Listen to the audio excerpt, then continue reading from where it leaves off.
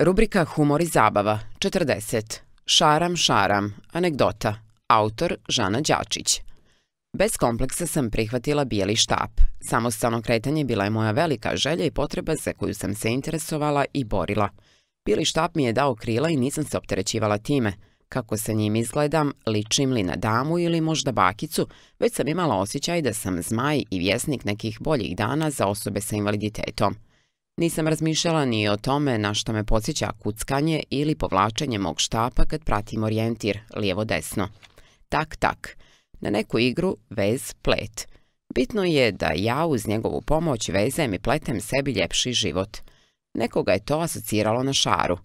Jedna starija gospođa meni poznato glasa umjesto pozdrava mi reče šaraj, šaraj.